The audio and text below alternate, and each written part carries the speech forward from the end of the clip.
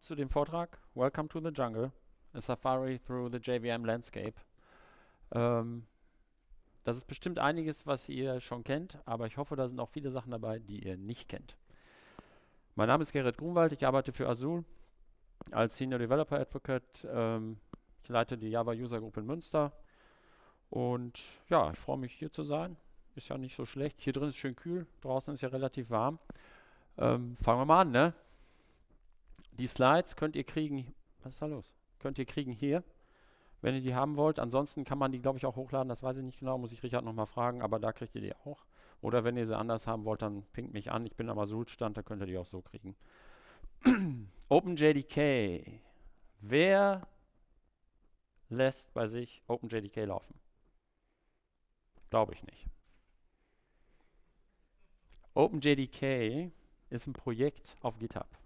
Ist der Source Code. Was ihr laufen lasst, ist eine Distribution, also das heißt ein Bild von OpenJDK. Und das ist ein Unterschied. Nein, ich nehme jetzt keine Fragen an. Nachher. Oh, ich wollte auf Englisch wechseln, richtig? ähm, OpenJDK is a free and open source implementation of the Java standard, a platform standard edition, or short Java SE. And it has a website that you can find here, right? openjdk.org. And the source code is also available, and you can find it here, github.com slash openjdk slash jdk. If you're interested in how the JDK works, you can take a look at that, but be aware it's not easy.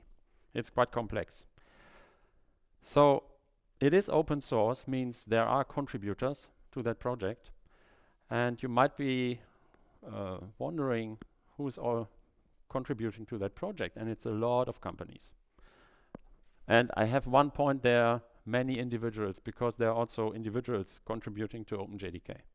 But you see there are really big companies like Alibaba, Amazon. Azul is not so big, but we also uh, provide code there, uh, Bellsoft, Datadog, and so on, you, you name it. All these companies are contributors to the OpenJDK project, which is a really good thing because that means you are on the safe side, right? This is not a one-man show, which is good. So it's not only Oracle doing stuff at OpenJDK. That's the first thing. There is, of course, also a roadmap to that project. And the older ones remember this release cadence, right? Where we had four and a half years between six and seven. And then it was three years from seven to eight. And then that means you have to wait years before you can test something new. And it took a long time in these days when you have a new release of a JDK to really switch to the new version because you get the new one and it came with lots of features. So you have to make a lot of tests to make sure it works. And that changed. So it's it changed to the new release cycle, which is this. You see, we have a lot of versions coming out. And um, by the way, who's running? Let's start with 17 in production. That's good. 11, 8, and now the question 6 and 7? Nobody? Don't be shy.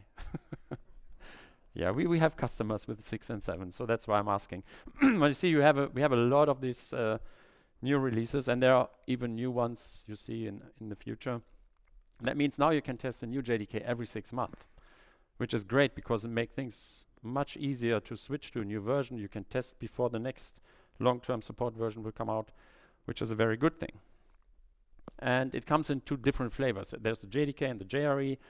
All of you know that. It's the Java Development Kit and it's the Java runtime environment. And now I have to ask you, who's running a JRE in production? Just a few. Who's running JDK in production? You shouldn't do that, right? You know that. You don't need JDK in production because it contains all the stuff that you need to develop stuff, right? So that means the JRE contains the virtual machine and the class libraries. That's the stuff you need to run things, which is small or smaller. The JDK contains also the Java C compiler, debugger, Javadoc, all these things.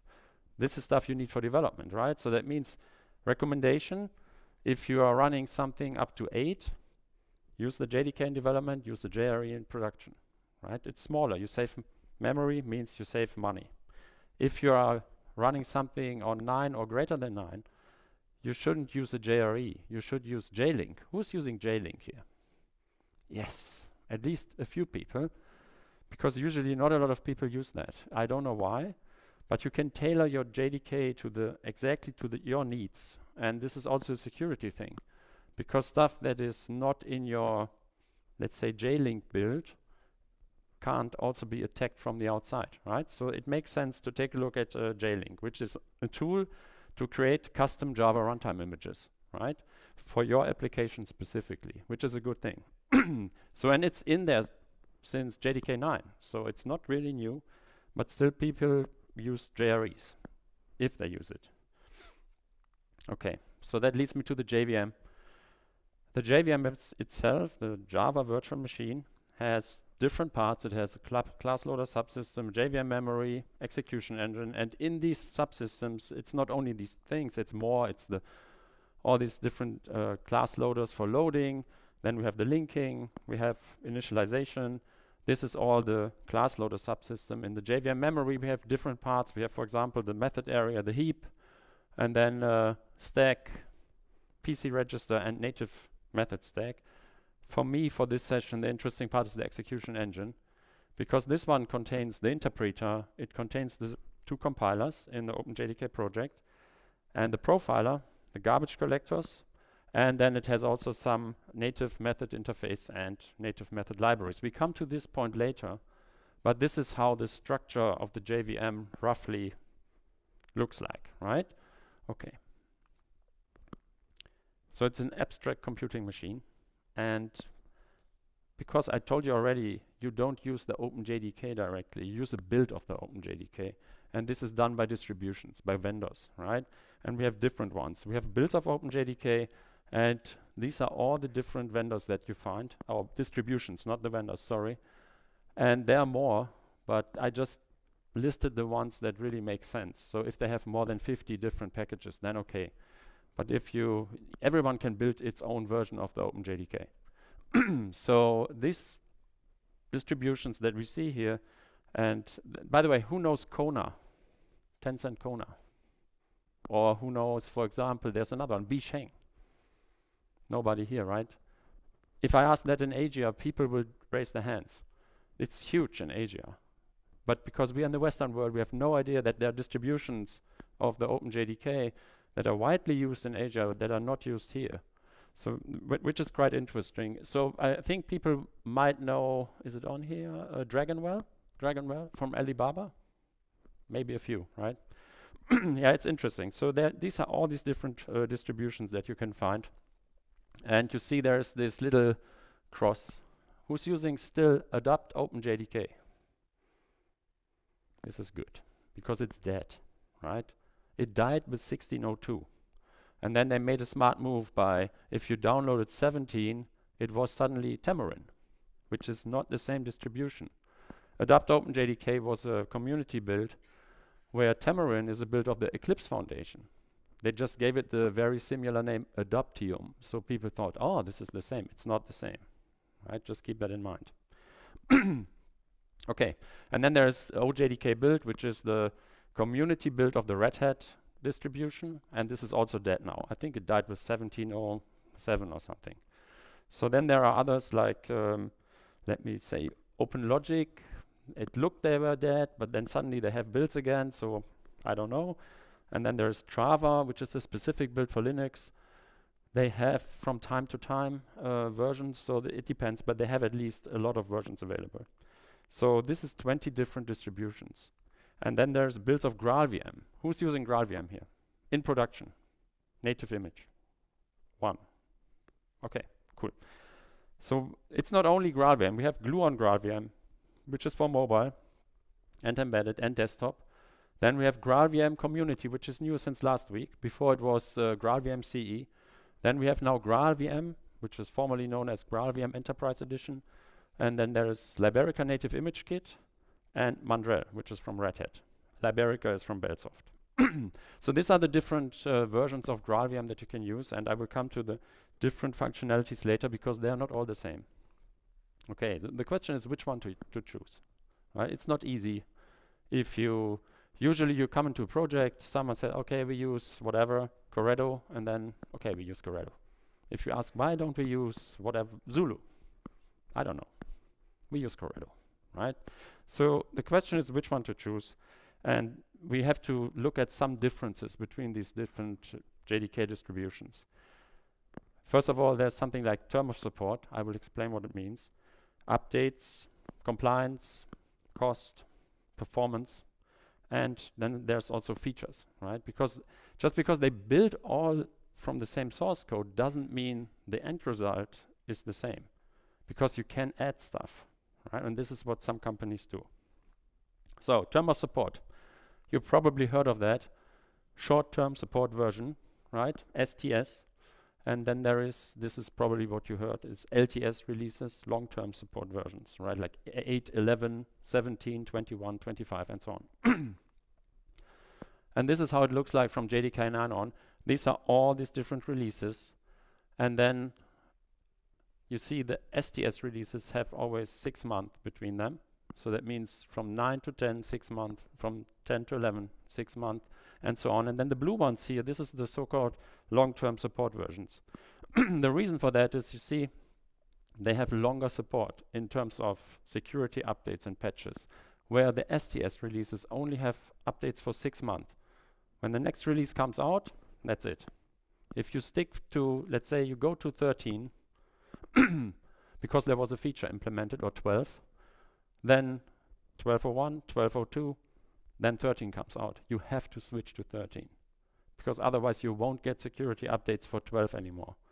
So and this goes on until you reach 17 and then you get for, I don't know, till, till I think it's even longer now, till 2030 you will get updates for JDK 17. and uh, 8 is even longer than 13, right? So that means if you go to the short-term support versions, you have to be aware that you only have six month security updates and after that you have to switch. Otherwise you run into the risk that you, you have a, a, vulnerable system, right? So this is important to know. Um, okay, I already mentioned that short-term support releases only for six months. After that, game over. Keep that in mind because sometimes the thing with the STS releases is they offer new features. So for example, I think it was JDK 14 where they added JPackage. We have been in a project where we used JPackage, we needed that. So we switched to JDK 14. And then we had to make the switch every six months to 15, 16, until we reached 17. And this is also risky because with every of these new releases, they introduce new features. They could introduce new issues. So this is, you should be aware of this, right? And then the other thing is not every distribution supports STS and LTS. For example, Dragonwell only has 8, 11, 17. There's no STS. There's no 16, no 15, no 14. And there are also others. They only support the long-term support versions. you have to be aware of these things too. That means the recommendation here is for development you can use whatever you like. But in production, make sure you stick to a long-term support version because this is really, you can be sure that even after years you get service packs, that means uh, security fixes for it. Next thing, updates.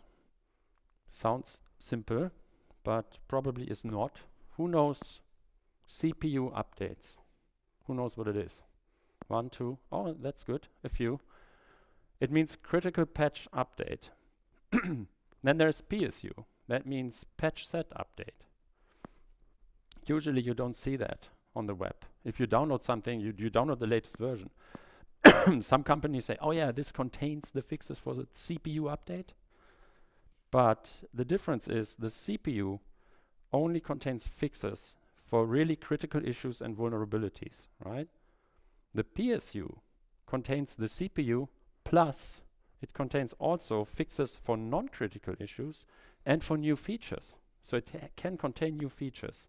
And that means it can introduce new issues. Right? So if you, for example, you have a, a new update, 1707, PSU, you get the fixes from 1706, but then, oh, there was a new feature. We added that to 1707 PSU too. So you get the new feature that might be buggy. It was tested, doesn't mean it's really fixed, right? So you have to know this. And you will get these things four times a year. and it will look like that. I tried to visualize it. It might be a little bit complex. So on the upper row, we see the PSU updates. on the lower one, it's CPU. On the upper one, you see PSU, and it contains the CPU, okay? This is in January. Next update in April, and then it introduces fixes and features, the PSU, where the CPU takes the 1701 and only fixes the issues. That's a CPU update. So that means feature-wise, you're always a step behind if you use the CPU. Right? I hope this is somehow clear. And then this goes on. Next update, July, same thing. Oh, uh, th that doesn't really look good. Okay. But it's, it's the same, right? So the CPU always contains the fixes for the last PSU. Why do I tell you this? Well, I tell you that, and then in October this is the same again. I tell you that because patch set updates, PSUs, this is most of the available distributions that you find, it's PSU. If you use Temurin, Corretto, whatever, it's only PSU. And that that's why the, the reason is why you don't really see that anywhere because they don't really announce that it's the PSU update. Critical patch updates are only available by Azul, Bellsoft, and Oracle. No other company does that. Because this is additional effort that you have to, you have to spend money and time to build these CPU updates that only contains fixes. and this is, the, the reason is why you don't see it, you have to pay for it. This is the reason why people pay for Java, because they get critical patch updates only. And um, I think Temurin, they just say it contains the CPU fixes. Of course, because it's a PSU. but it also contains new stuff, right? So you have to keep that in mind. CPU only available by these three companies. the recommendation is in development you can use whatever you like, right? In production, if you have mission critical stuff, you should stick to a CPU release because you really, if you would like to make sure that you really run on the last secured version, then the CPU is the one you need to, to run on. If you don't care, you can also use a PSU, what most of the people do. Okay, compliance. Oh, that, that's an interesting thing. you probably heard about TCK. Who knows what the TCK is? Or heard about it? Heard about the TCK. Okay. It's the Technology Compatibility Kit, licensed by Oracle.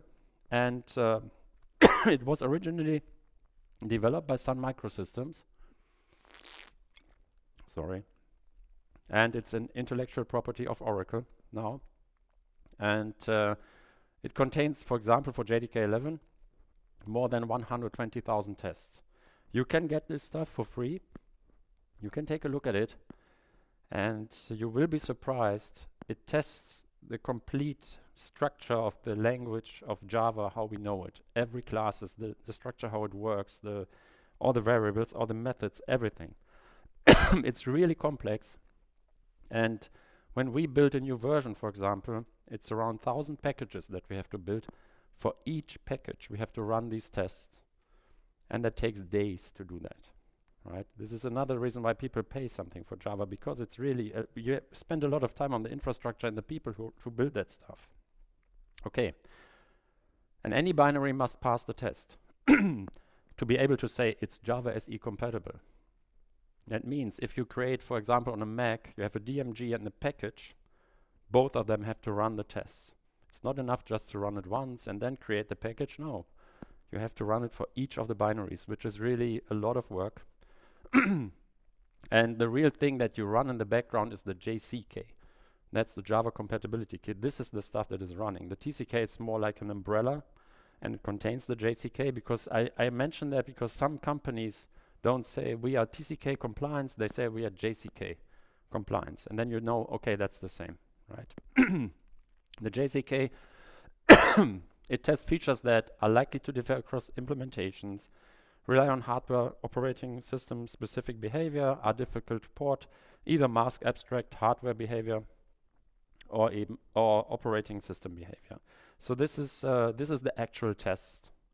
And for example, if you would like to build your own JDK and make it TCK compliant, you can download the JDK source code, you can download the test, and good luck with running it, because it really will take days on your local machine, takes forever. I, I started it once and then I gave up after a day because it was it looked like nothing happens and then I saw okay it, it really did something but it took too long. So the question is how can you get access to it? So you can get it without charge, right? Uh, you must meet the terms of the OCTLA, which is the OpenJDK Community TCK License Agreement. What a nice name. That means a lot of paperwork, right? You must sign the OCA, the Oracle Contributing Agreement. More paperwork, but it's all for free. and then you get it. And these are the distributions that really are compliant to TCK for JDK 8, because that's another difference. Just because you have it for JDK 8 doesn't mean you also have it for 11, right? you see that Dragonwell here, they are TCK compliant for JDK 8. And, uh, and you also see this is not 20 distributions anymore, right? So it's not the list that we saw in the beginning. That means not every JDK that you download is TCK compliant. That's another thing you have to keep in mind. And when you see the tests, it really makes sense to use a JDK that is TCK compliant because that makes sure that you can change, for example, from Corretto 8 to Oracle OpenJDK or to Zulu, and it will guarantee that it will work on that JDK. If you try to run it on another JDK that's not TCK uh, compliant, for example, on 8, it might fail.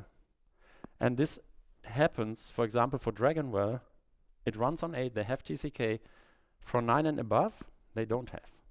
Because they implemented features in 11, or I think even in 9, that don't pass the test. So they can't say we are TCK compliant. And that means if you use it, it might fail, right? So this is stuff you also need to know about the JCK, the TCK, and the distributions that support these different uh, test suites. then there's another one, it's a new one. Who knows AQAvit? Okay, a few. This is uh, Adoptium Quality Assurance Vitality and Speed Test Suite. Wow, another great name by Eclipse. and the idea was born to have something that that is I wouldn't say it's a replacement for TCK, it's an addition to the TCK. It's a different test suite. And um, the idea is you if to you if you would like to pass this one, you have to pass the TCK first right? So only the ones that pass TCK can get the AQAvit test. Otherwise, you can't get it. And um, the reason why that was invented, or one reason is, who knows Adopt OpenJDK? I guess most of you, right? Who knows why they have to change to Adoptium? Nobody? One? The reason is there was OpenJDK in the name. And Oracle said, we don't like that you don't get the TCK and we would like to change your name. So they had to change the name. That was the reason why they went to the Eclipse Foundation and named it Adoptium because Adopt Open JDK was not allowed. And then they decided we need something that is equivalent to the TCK test and they invented the AQAvit, right? So AQAvit is a little bit different. they ensure that uh, it's more like on the the TCK tests really Java, where the AQAvit tests how the JDK behaves on real world application tests, right, for production use. It's a little bit different, and this is also the reason why you have to pass the TCK first to be able to also pass the AQAvit test. So this is, you see, it's a lot of tests, more than 350,000 tests that are running for that. And uh, yeah, like I said, it's designed to test real world utilization patterns on the JDK distribution and also security, durability tests, and so on and so on. And this is only, that's the only distributions that pass this test. And you guess right, Dragonwell only for JDK 8 because in 11 they don't pass the TCK, right? There's another thing. Semeru certified is from IBM. It's the OpenJ9 thing. the problem with this one is because OpenJ9 is not really based on OpenJDK. IBM implemented their own Java version or their own JDK and they implemented it from scratch. So it's not based on OpenJDK. And so Oracle said, hmm, if you would like to have the TCK license, usually it's free, but for you, you have to pay. That's the reason why we have Semeru and Semeru certified. The certified version passes the TCK test.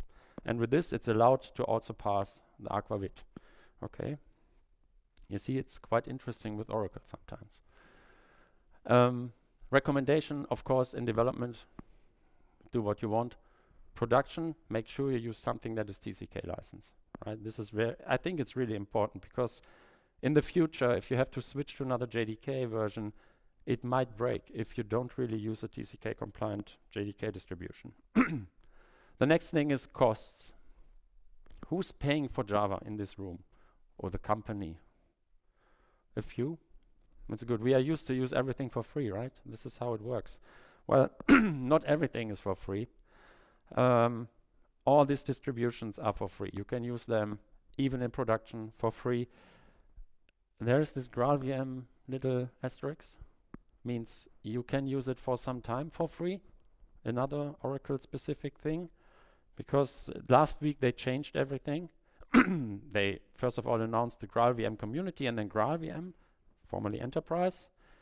And the idea is, if I got it right, if you have GraalVM based on 17, they now have the same version numbers as the JDKs. GraalVM 17 you can use until 28 comes out one year later after it came out. You can use it for free and then it will switch to the OTN license. Oh, and that's a fun thing because suddenly you have to pay, and I will come to that on the next slide. Um, you have to pay for Prime, for example, this is our JVM, IBM Semeru, but the interesting part is this one. Usually it was based on a number of vCores, right, for GraalVM. And for Oracle JDK is the same. But then they had this nice idea in January, well, hmm, if we would like to make money out of Java, we have to change something. And they changed that to numbers of employees. And that doesn't only mean your company, it means third-party companies that help you to do your job. Now think about a company like Mercedes-Benz. They have a lot of employees. And if they have a third-party company like Bosch, oh, another many, many employees they have, right? if they have a license for, let's say, JDK from Oracle, and they have 1,000 licenses, and now one more engineer downloads the open the JDK version from Oracle from the website, and they have 1001. Then they apply to the new licensing system. And suddenly Oracle can come and say, okay, we have 150,000 employees, now you pay for 150,000. We don't care if you have people that never use Java. This is the new licensing scheme. And that changed on January 21st. You can look it up. It's really interesting. So be careful if you, who's using Oracle JDK here? Okay, so you, you really have to check that. It's, it's, it's critical, just saying. And this also applies for GraalVM like I said, it's free to use until one year after the next LTS, and suddenly it drops back to OTN license, which means then you have to pay. You have to keep that in mind, right? Especially if you work in a bigger company, because they're aiming to get the money from the big companies, not the small ones. so it's really, um, have to be careful with that. Performance. Yeah, that's maybe something interesting performance, uh, first of all, we have something like a baseline performance that applies to all of these distributions because I told you they're all based on OpenJDK. That means all of them, more or less, same performance. Why should it be different, right? Because the same source code. yes, some distributions add some minor tweaks, but this is not really something that is worth measuring. And that means it doesn't really matter if you aim for performance which of the JDKs you use, as long as it's just based on OpenJDK. If you look for something that needs high performance, then there are just a few options, right? And for that, we have to take a look again at the JVM and specifically at the execution engine because there's the magic happens in this area there, especially here, the JIT compilers and the garbage collectors. And this is the stuff you can replace and it has an impact on performance. And there are just two companies who, doing, do, who are doing that. So there's, for example, the first thing is our own platform Prime. I will come to that in a second, what we do differently. We change the compiler and the garbage collector. And then there's Oracle GraalVM, formerly Enterprise Edition. They have also different compiler. they have not even that, they have even more. But, but this is uh, That's the only two JVMs that have higher performance if you measure them as the average. IBM Semeru is sometimes faster, but not really a lot. So it doesn't reach this performance, but it, it sometimes is faster than the normal Oracle OpenJDK based stuff because they use the OpenJ9 compiler, which is different, and um, can sometimes produce faster code. Okay.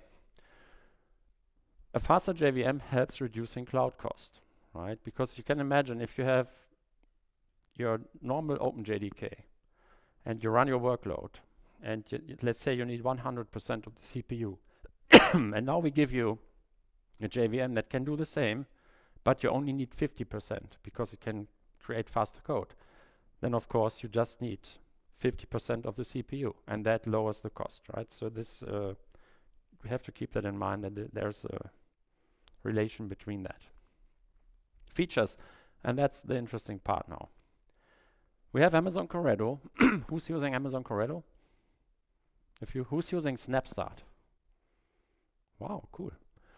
Um, yeah, because it comes with Snapstart, which is the it uses the API of CRaC that we invented last year and made an OpenJDK project, and then they also use Firecracker in combination with that um, to help with Lambda startup, and it's now available for 11 and 17 as far as I know.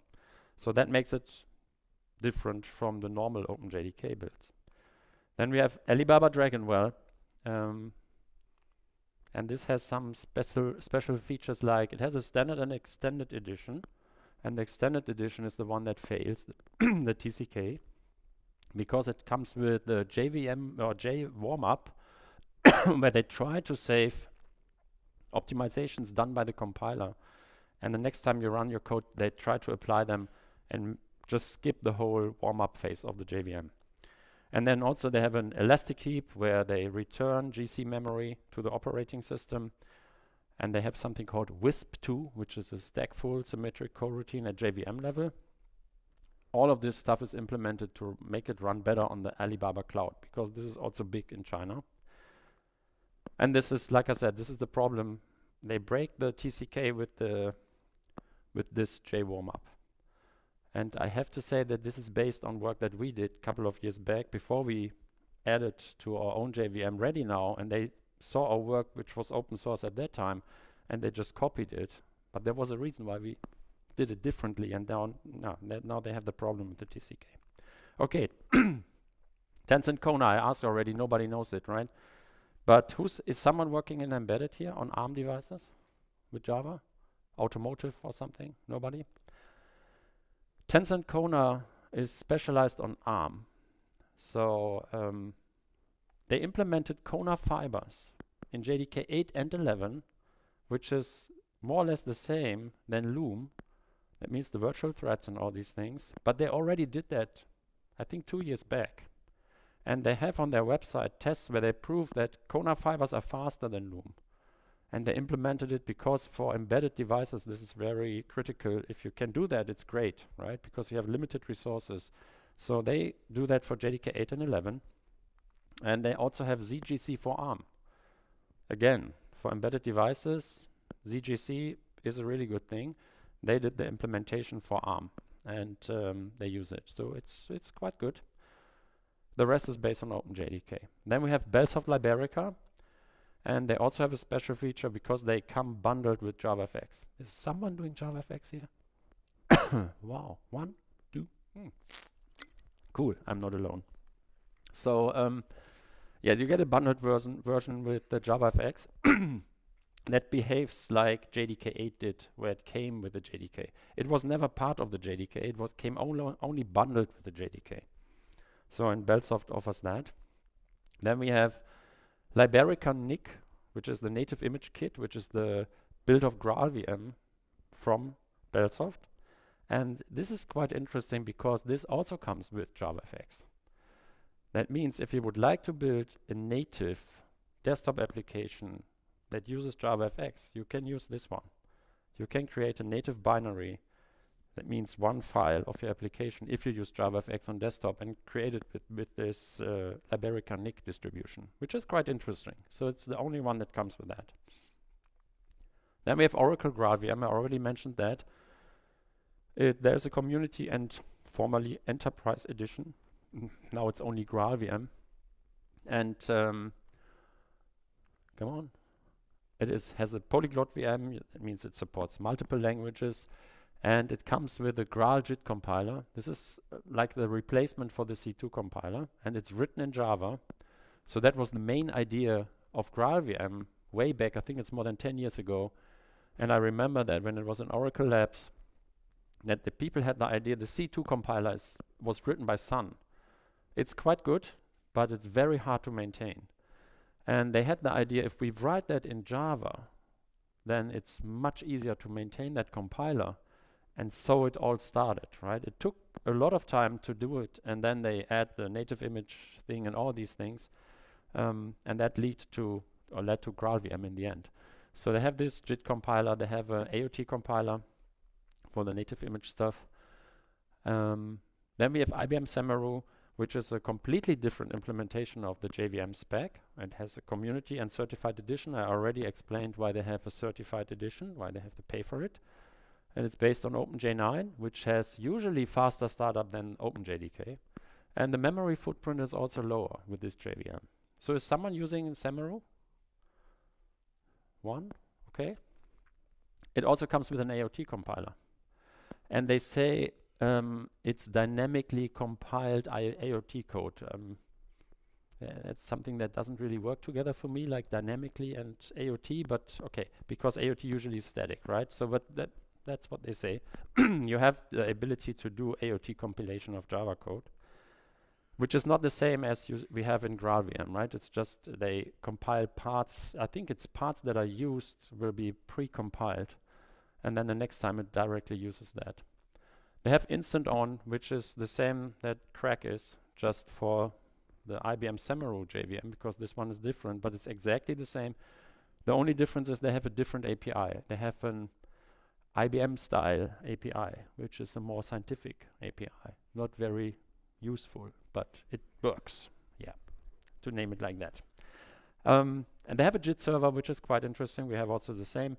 So that means you can run Semeru on a server, and then you can have different Semeru versions on different machines, and they can ask the cloud compiler or the server compiler to compile code. And the next time another version asks for the same code, the, the central web compiler here, the, the JIT server, will directly return the compiled code. So you don't have to compile it locally anymore. That's the idea. Oh, then we have Zulu, which is our own JVM. And this one comes with JavaFX. We also bundle it like uh, Liberica does. We have Azul vulnerability detection. So we figured out that who's using security scanning in production here a few people. I, I, guess you use an agent to do that because th that's the only way you can do it. if you use an agent, that means you start a, a program that connects to the JVM at runtime and it implements some callbacks to the JVM. And for example, it tells the JVM, every time you load a class, let me know. So that means every time the JVM loads a class, it will call back to the agent. The agent will do something and go back. So this is how it works.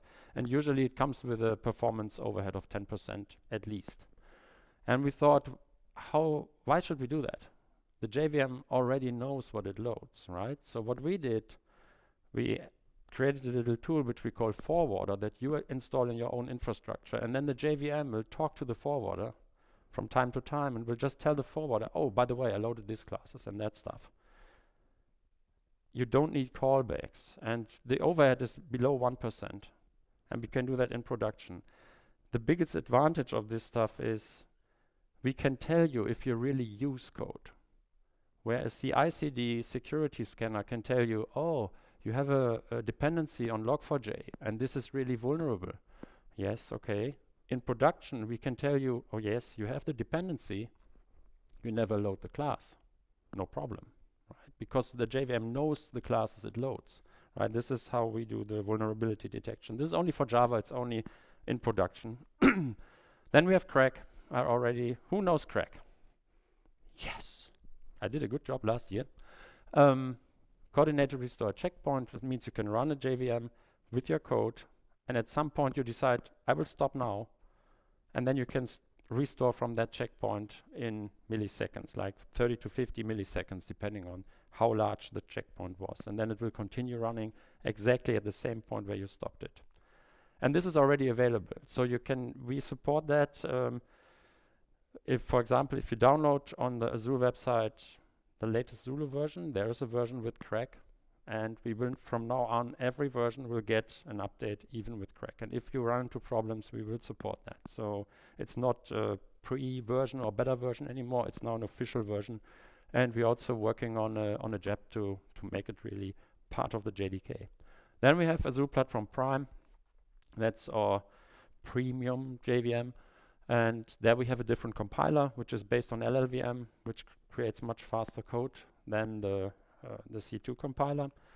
We have a C4 garbage collection. This is in principle the ZGC, or let's say the ZGC is a copy of the C4 because we did that 10 years ago and we have a patent on that one, but ZGC does exactly that. And we have ReadyNow. this is because we have the compiler we can tell the compiler to save all the optimizations and de-optimizations it did. And then the next time you start your application, we directly tell the compiler, you know what, instead of trying every optimization, just use this one because that worked last time. It's the best you can do. Right? You can really warm up much faster. Uh, we have also this cloud native optimizer. That means you can run a cluster of compilers in the cloud. And then when you run your microservices, every time a method will be called, the cloud native optimizer will just keep the compiled method. And the next time you call it, you directly get the highest optimized code back. So that can also help you. And it also has the same vulnerability detection that we have in Zulu. And CRaC will come probably maybe in August. I'm not sure yet. So, but it will also come to Prime. And this one you have to pay for. Sorry, but we spend so much money on that thing that we need to make some money out of it. And with that, let me check the, oh, it's good, I'm really good. Uh, the takeaway, it's not really fancy, right? It's a lot of stuff uh, that's just the way it is. Are all those builds of OpenJDK really different? Well, technically, no. It's more or less the same. There's not a big difference there. Uh, service support and cost, probably yes. So that means if you need service or support, or if you have to pay for something, of course it's different. And when people, we had that yesterday, where people come to the booth and ask, why are people paying for Java? So I asked them, do you have a fire insurance? Yes, of course. Did it ever burn your house down? No. Why do you pay? Right? The same thing. We just do that. We do the support that in case there is a problem, we can help you. That's what you pay for. And for the CPU updates, of course. So choose wisely when selecting a JDK, and thanks for attending.